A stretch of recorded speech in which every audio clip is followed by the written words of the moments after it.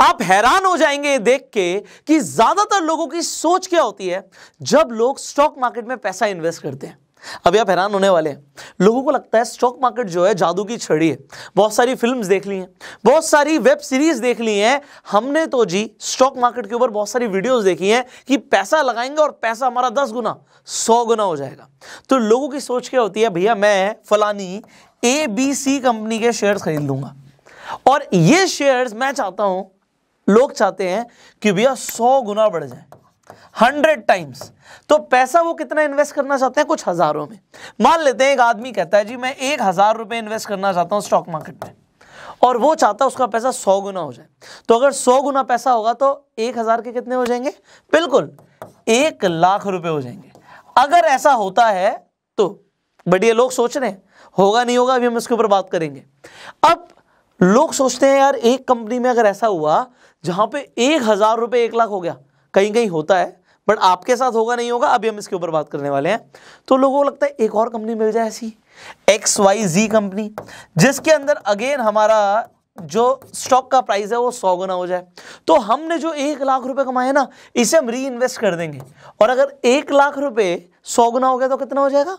एक करोड़ रुपए हो जाएगा। वेरी नाइस ऐसा लोग सोचते हैं। और फिर वो ख्याल क्या बुनते हैं कि भैया, एक कंपनी और, एक मुझे वन टू थ्री कंपनी के अंदर इन्वेस्टमेंट और मिल जाए, वहाँ पे भी मेरा पैसा सौ गुना हो जाए और मेरे पास जो एक करोड़ रुपए मैं इन्वेस्ट कर दूँगा, अभी जो आया नहीं, है नहीं, और मेरे पास हो जाएँगे सौ करोड़ रुपए, और जी इतना पैसा आ जाएगा कि मेरी तो जी सात पुश्ते बैठ के खाएँगी, ये स्टॉक मार्केट का गेम लोग समझते हैं। पर आपको पता है ये क्या है? ये सपने हैं, ये ड्रीम्स हैं। ये ड्रीम्स क्यों हैं? लेट मी टेल यू भैया, एक बात बताओ, सौ गुना छोड़ो, दस गुना भी शेयर का प्राइस कब होगा किसी कंपनी का? दस गुना भी तब होगा जब कंपनी का बिज़नेस दस गुना बढ़ जाएगा। बट कंपनी का बिज़नेस दस गुना कितने टाइम में बढ़ेगा? उसमें सालों लगते हैं। ये रातों रात नहीं होता।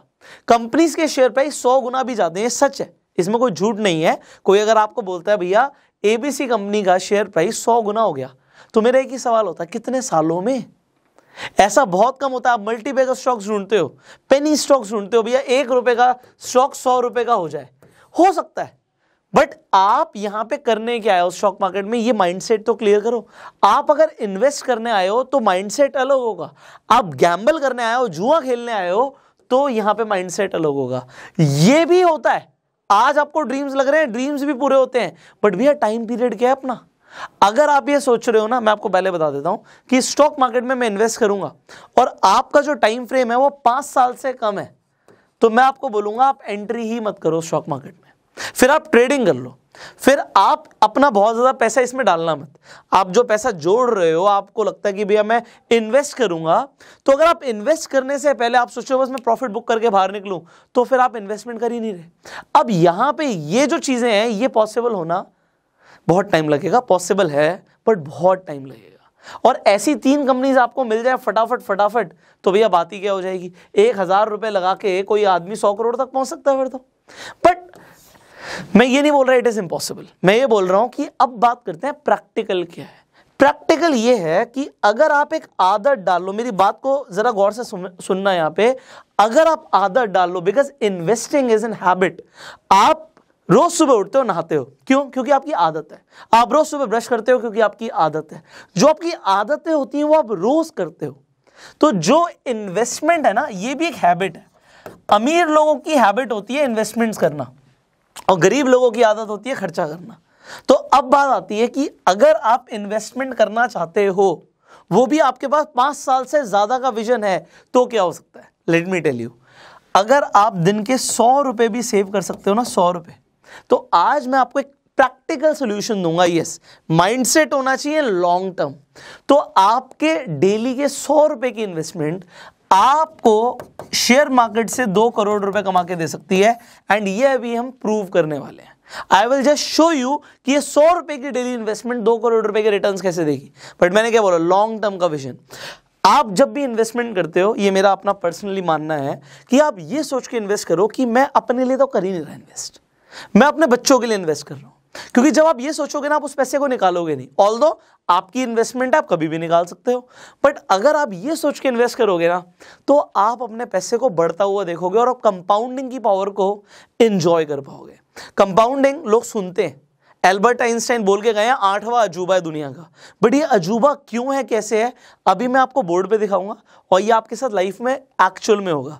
बट अब जब हम लॉन्ग टर्म इन्वेस्टमेंट की बात करते हैं भैया 20 साल इन्वेस्ट करो 30 साल इन्वेस्ट करो 50 साल तक इन्वेस्ट करो, लोग कहते हैं, अरे यार सर आप क्या बातें कर रहे हो? अभी हम यंग हैं। अगर हम 20 साल 30 साल के लिए इन्वेस्ट करेंगे, तब तक तो हम 40-50 साल के हो जाएँगे। तो 40-50 साल के उम्र में वो पैसा किस काम का मैं आपको क्या बोल रहा हूँ, अगर आपकी थिंकिंग वो होगी पैसा आपको जल्दी रिटर्न्स भी दे सकता है। ये दो करोड़ का जो हम टारगेट एक एग्ज़ाम्पल के लिए ले रहे हैं, सौ रुपए डेली इन्वेस्ट करके, ये जल्दी भी अचीव हो सकता है। बट पेशेंस रखोगे तो आपको उसका मुनाफा मिलेगा। अगर आप पेशेंस रखने के लिए रेडी हो, समझने के लिए रेडी हो कि लॉन्ग टर्म में स्टॉक मार्केट से कैसे अमीर बना जा सकता है, अब हम आगे बढ़ेंगे और मैं आपको कुछ जेन्युन चीज़ दिखाऊँगा, ठीक है? अब समझते हैं यहाँ पे, पहले थोड़ा कंसेप्ट समझ लेते हैं, फिर प्रैक्टिकल देखेंगे। देखो, आप जब इन्वेस्ट करते हो स्टॉक्स में तो आप स्टॉक्स में इन्वेस्ट करते हो, आप अपनी एनालिसिस करते हो, आपको कहीं से पता लगता है टिप्स होती है मार्केट में न्यूज़ आती है, बहुत सारे फैक्टर्स हो सकते हैं कि आपने कंपनी के स्टॉक्स क्यों खरीदे। इसके साथ साथ मैं आपको बता दूँ, आपने नाम सुने होंगे सेंसेक्स आपने नाम सुना होगा निफ्टी आपने निफ्टी फिफ्टी का नाम सुना होगा, ये इंडेसेस है। इंडेसेस क्या होते हैं, जो यहाँ पे हमारे पास, हमें अब पता एक्सचेंजेस दो हैं, हमारे पास बीएससी एनएससी है। तो बीएसई बॉम्बे स्टॉक एक्सचेंज पे जो टॉप थर्टी कंपनीज़ हैं, उनका एक कॉम्बिनेशन को बोलते हैं सेंसेक्स और यहाँ पे नेशनल स्टॉक एक्सचेंज पे एनएसई e पे जो टॉप 50 कंपनीज़ हैं, उनके कॉम्बिनेशन से एक इंडेक्स बनता है, एक इंडेक्स बनता है, और इस इंडेक्स को बोलते हैं निफ्टी 50 निफ्टी 100 भी होता है, निफ्टी 200 भी होता है निफ्टी नेक्स्ट 50 भी होता है। तो ये बहुत सारे हमारे पास इंडेसेज हैं। अब ये इंडेसेस क्या है? ये वही कॉम्बिनेशन है स्टॉक्स के, जो इस वक्त इंडिया के अंदर बेस्ट है। एनएससी के अंदर जो टॉप 50 है टॉप वो आ जाएँगे निफ्टी 50 में सेंसेक्स टॉप थर्टी बीएससी के ऊपर। अब यहाँ पे मैं आपको कुछ और समझाना चाहता हूँ। आपको कैसे पता लगेगा निफ्टी में 50 कंपनीज़ कैसे सिलेक्ट होती हैं? ये आपको सारा डेटा ऑनलाइन अवेलेबल है। मैं आपको कुछ दिखा रहा हूँ उसके ऊपर हम बात करेंगे। सो so, यहाँ पे हम आ जाते हैं। Wait for a while we have this alright so यहाँ पे मैं आपको कुछ दिखाता हूँ। ऑलराइट तो यहाँ पे आप सिंपली वेबसाइट के ऊपर जा सकते हो। मैंने भी खोली हुई है आपके सामने। सो अगर आप निफ्टी के अंदर देखोगे so you will easily find it on internet आपको आराम से मिल जाएगा। Wait for a while okay यहाँ पर देखिए। सो so, निफ्टी के अंदर अगर आप देखोगे कि डिस्ट्रीब्यूशन किस तरीके से होता है कैसे कंपनीज़ के अंदर हम सिलेक्शन करते हैं निफ्टी बनता कैसे है तो फाइनेंशियल सर्विसेज़ की जो वेटेज है 37.21 परसेंट है। तो HDFC बैंक आपको दिखता है भैया निफ्टी के अंदर टॉप पे सेकंड नंबर पे है। आईटी कंपनीज़ हैं यहाँ पे 17.43 परसेंटेज है। ऑयल एंड गैस 11.69 ऑटोमोबाइल है कंज्यूमर गुड्स हैं सीमेंट है फार्मा है मेटल है पावर है टेलीकॉम है। तो बहुत सब बहुत अलग अलग सेक्टर्स की कंपनी को मिला के निफ्टी बनता है। तो ये हमारा इंडेक्स होता है। इंडेक्स तक का बात समझना ज़रूरी था। अब इसके आगे आपको क्या समझना है कि अगर आप ग्राफ देखोगे निफ्टी का तो over the period of time आपको निफ्टी ऊपर जाता हुआ ही दिखा है। अगर आप जब से निफ्टी शुरू हुआ है, तब से अभी तक की ग्रोथ देखना चाहते हो, आप वो भी देख सकते हो। और ये मैं आपके सामने भी लगा देता हूँ। So if you will see this graph it is growing it is growing अगर हम 1999 की बात करें तो आठ सौ नब्बे रुपए का निफ्टी फिफ्टी हुआ करता था। बट आज की डेट में आप देखोगे जी ऑलमोस्ट यहाँ पे आज का लेटेस्ट अगर दिखा रहा है fifteen thousand almost seven hundred तो पंद्रह हज़ार सात सौ के आसपास निफ्टी जो पहुँच चुका है, आप देख रहे हो इट इज़ ग्रोइंग ये बढ़ रहा है। इसका मतलब क्या है? जो निफ्टी फिफ्टी की कंपनीज़ हैं, वो बढ़ रही हैं। बट इंडेक्स के अंदर एक बहुत अच्छी बात होती है। इंडेक्स के अंदर अच्छी बात क्या होती है कि कंपनीज़ चेंज होती रहती है। जो नेशनल स्टॉक एक्सचेंज है ये टॉप फिफ्टी कंपनीज़ को ही रखता है। तो अगर एक कंपनी अच्छा परफॉर्म नहीं कर रही या उसके साथ कुछ गलत हो जाता है मान लेते हैं येस बैंक के साथ गलत हो गया तो वो निफ्टी फिफ्टी से निकल जाएगा। सो so, ये फिल्ट्रेशन भी एनएससी कर रही है। तो अगर आपको दिख रहा है कि निफ्टी ऊपर जा रहा है तो मैं अपना दिमाग क्यों लगाऊँ? मैं क्यों ना अपना सारा पैसा जो भी मुझे इन्वेस्टमेंट करनी है वो डायरेक्टली निफ्टी 50 में कर देता हूँ? बट बात आती है कि आप डायरेक्टली इंडेक्स में इन्वेस्ट नहीं कर सकते। अगर आप अपने डीमेट अकाउंट पे जाओगे भी तो आप निफ्टी फिफ्टी पे डायरेक्ट इन्वेस्टमेंट नहीं कर सकते। आपको उसके लिए क्या चाहिए होता है? Now here comes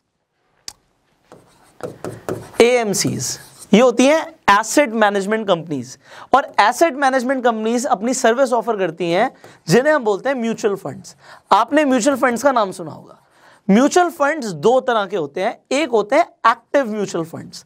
Active mutual funds क्या होते हैं कि ये आपका पैसा लगाते तो स्टॉक मार्केट में ही है, बट ये अपनी मर्ज़ी से चूज़ करते हैं कि हम कौन सी कंपनीज़ में लगाएँगे, जो इन्हें लगता है कि ऊपर जाएँगे।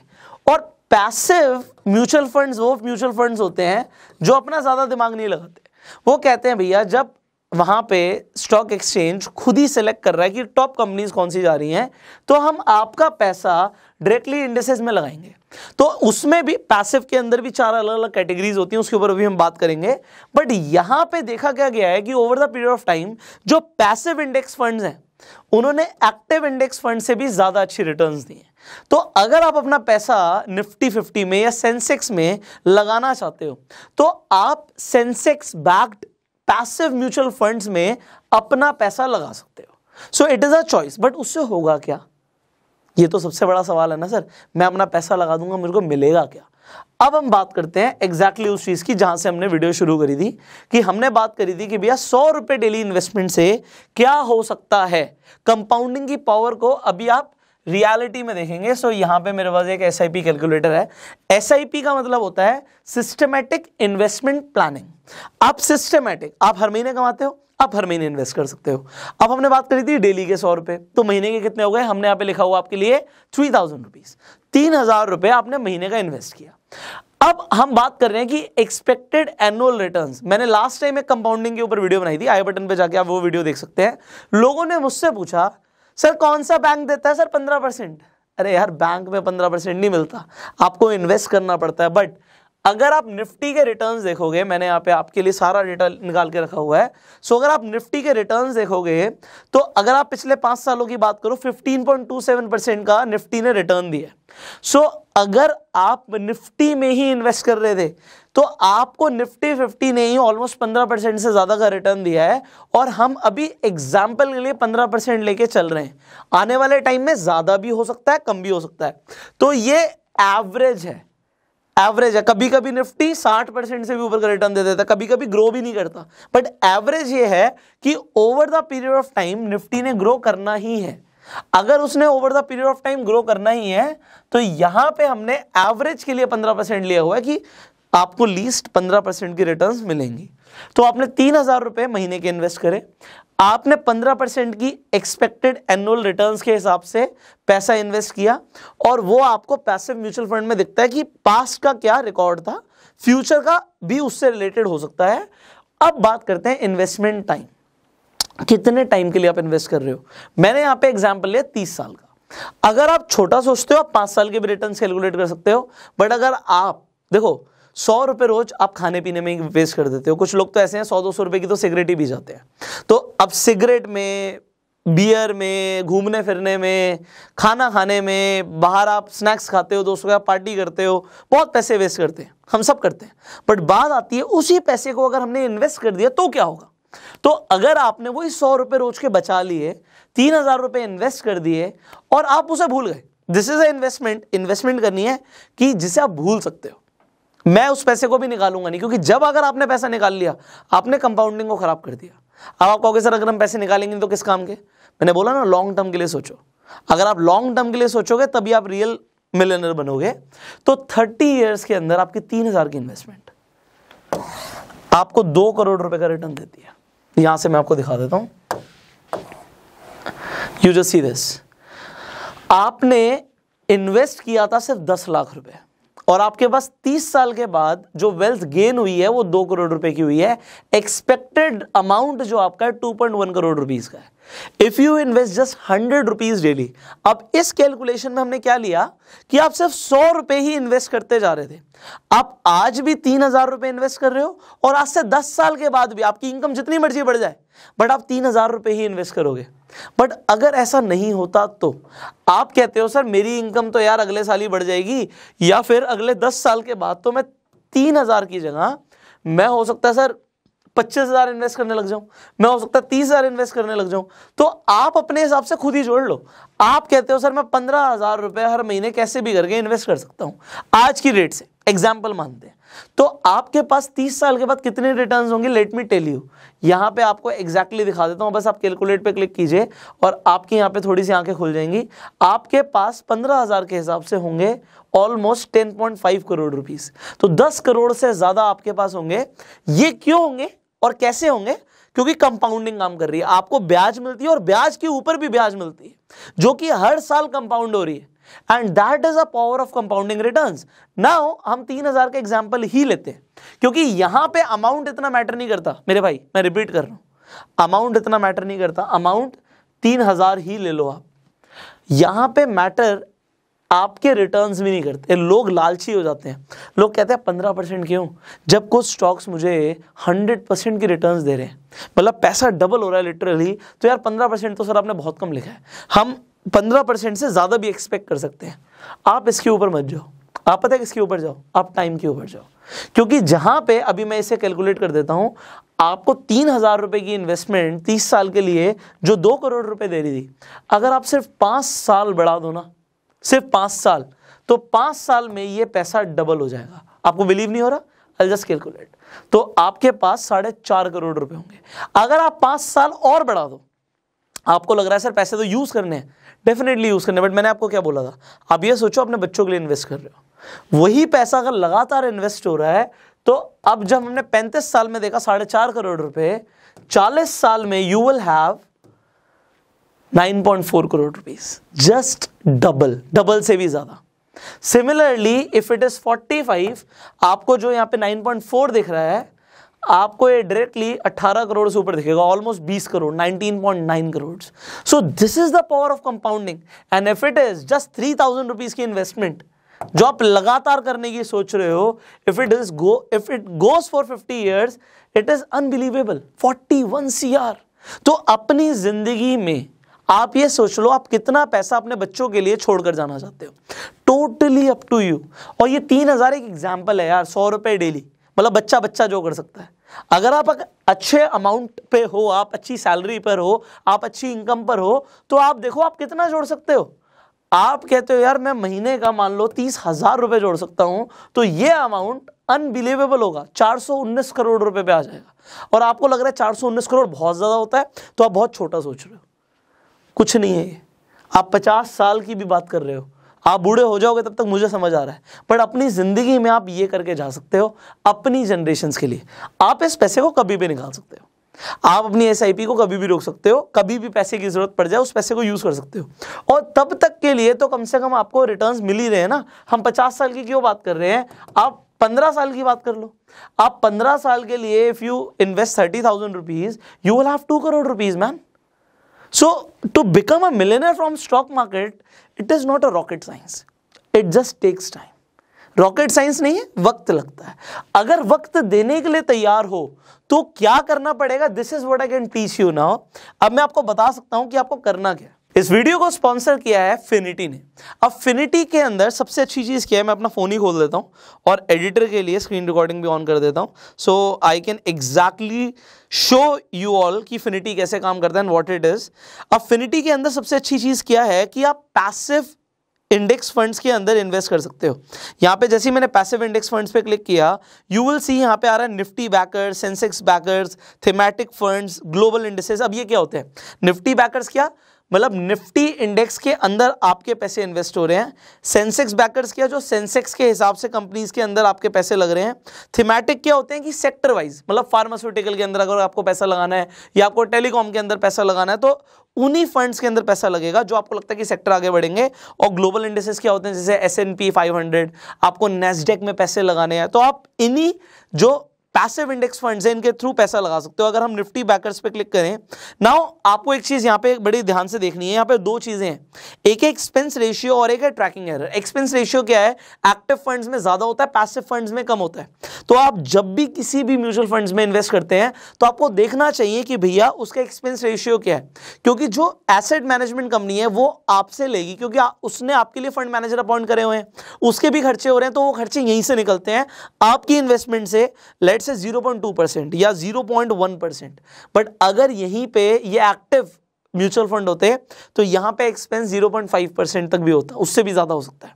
एंड दूसरी चीज़ है ट्रैकिंग एरर कि निफ्टी में अगर कोई चीज़ चेंज हुई है तो यहाँ पे आपके म्यूचुअल फंड में वो कितनी जल्दी चेंज हो रही है तो वो ट्रैकिंग एरर जो है, वो नेग्लिजेबल होना चाहिए, जैसे कि zero point zero two percent so ये नेग्लिजिबल है। अब आपको रिटर्न देखनी है कि भैया 14.74 परसेंट की रिटर्न आ रही है, किसी में 14.66 की आ रही है, किसी में आपको 14 परसेंट की आ रही है। तो आपको देखना है रिटर्न्स कहाँ पर अच्छी आ रही है एक्सपेंस रेशियो किसमें कम है और ट्रैकिंग एरर किसमें कम है। And then you can invest अब मान लेते हैं यहाँ पे आप H index fund Nifty fifty के अंदर आप इन्वेस्ट करना चाहते हैं तो आप यहाँ पे इनकी रिटर्न देख सकते हैं, इस पर मैंने क्लिक कर दिया। तो अब आपको क्या करना है सिंपली इन्वेस्ट नाउ पे क्लिक करना है। आप यहाँ पे इनकी ग्रोथ भी देख सकते हैं रिटर्न देख सकते हैं। जब आप इन्वेस्ट नाउ पे क्लिक करेंगे, अब आपके पास दो ऑप्शन आएँगे। या तो आप मंथली चूज़ कर सकते हैं एस या आप लमसम एक बार में भी इन्वेस्ट कर सकते हैं। जो भी हमने देखा था एग्ज़ाम्पल वो मंथली एस का था। तो यहाँ पर आप जो भी अमाउंट मान लेते हैं आप सिर्फ़ पाँच सौ इन्वेस्ट करना चाहते हैं तो आप पाँच सौ भी इन्वेस्ट कर सकते हैं। अगर आप पाँच सौ इन्वेस्ट करते हैं तो आपको नीचे दिखा रहा है कि दस साल के बाद आपके पास one lakh thirty four thousand plus होगा। अगर आप पाँच हज़ार इन्वेस्ट करते हैं तो आपके पास ऑलमोस्ट साढ़े तेरह लाख के आसपास होंगे। एंड अगर आप पचास हज़ार रुपए इन्वेस्ट करते हैं you will have more than one C तो यहाँ पे आपको सीधा सीधा दिख रहा है one crore thirty four lakh rupees आ रहा है। So so, totally depends on you आप पाँच सौ रुपए से भी एस आई पी अपनी शुरू कर सकते हैं। जब आप इस पर क्लिक करेंगे, आपको सिर्फ़ इन्वेस्ट नाउ पे क्लिक करना है एंड दैट इज़ इट अब बात आती है कि जब आप इन्वेस्ट कर रहे हो, आपका माइंडसेट क्या है? अगर आपका माइंडसेट ये है कि भैया मुझे तो रातों रात करोड़पति बनना है, मेरा शॉर्ट टर्म वाला माइंडसेट है। तो आपके लिए ये इन्वेस्टमेंट्स हैं ही नहीं। बट अगर आप कहते हो यस मुझे समझ आ चुका है कि रियल वेल्थ लॉन्ग टर्म में बनती है तो लॉन्ग टर्म के लिए आप इन्वेस्ट कर सकते हो in passive index funds Finity का लिंक डिस्क्रिप्शन कमेंट बॉक्स के अंदर है, पाँच लाख से ज़्यादा इनके यूज़र्स हैं। तो आप फिनिटी के अंदर लॉगिन कीजिए। लॉगिन करने के बाद आप पाँच मिनट में अपनी केवाईसी कंप्लीट कर सकते हैं। पैन कार्ड आधार कार्ड आपको चाहिए एंड ओटीपी वेरिफिकेशन के साथ आपकी केवाईसी कंप्लीट हो जाएगी। सो केवाईसी कंप्लीट होने के बाद आपके पास ऑप्शन है पाँच हज़ार से ज़्यादा म्यूचुअल फंड्स हैं। उनमें से जो म्यूचुअल फंड आपको अच्छा लगता है उसमें इन्वेस्ट करने का। सो so, अगर आपको वीडियो अच्छी लगी जल्दी से लाइक कर दीजिए। शेयर कीजिए जिससे लोगों को समझ आए कि उनका क्या माइंडसेट होना चाहिए। जब वो शेयर मार्केट से करोड़पति बनना चाहते हैं वो वन टू थ्री वाला नहीं तीन बार मल्टीप्लाई करने वाला नहीं लॉन्ग टर्म इन्वेस्टमेंट वाला। सो so, आपके कुछ सवाल हैं तो आप कमेंट्स में पूछ सकते हैं। एंड अगर आप इस वीडियो को यूट्यूब पे देख रहे हैं तुरंत सब्सक्राइब कीजिए बेल आइकन पे क्लिक कीजिए। फेसबुक पे देख रहे हैं आप हमें फॉलो कीजिए। फिनिटी का लिंक डिस्क्रिप्शन कमेंट बॉक्स में है। And I will see in the next video till the time you go self made